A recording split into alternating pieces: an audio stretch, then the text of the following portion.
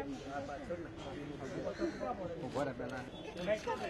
からハイスピードも同じくここに入ってきますので、メトロの地下で行くと、ハイスピードの交換で行くと、今の、あの、あの、ちょっと、あの、トンネル工事の人このボーリングマシンの今、えー、設置、あの、設置して、今出発しようと。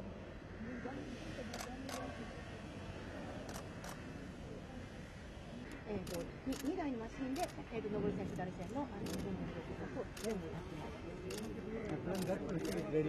これか？ら、これはもう天井的な、あの、トンネルの、あの、作品の、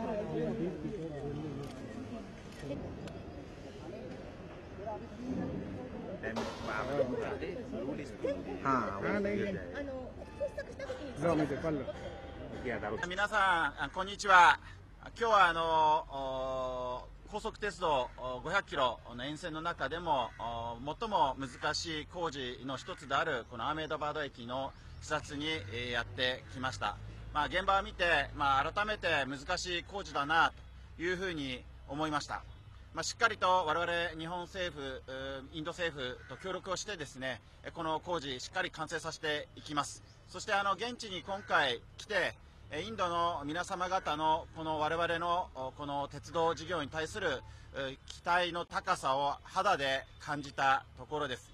国に、日本に帰りまして、皆さん方のこの期待をお伝えさせていただいて、今後ともインド政府と力を合わせて、この工事の完成に向けて頑張ってまいりたいというふうに思ったところです。それと現場に来て一つ思ったのは、我々日本政府はこのインドのこの鉄道工事に対してですね安全性というものに対して非常に高い関心、意識を持っています。現場でヘルメットをかぶり、そしてジャケットを着ている皆さん方の姿を見て安心したのと同時にですね、ぜひ今後ともこの安全、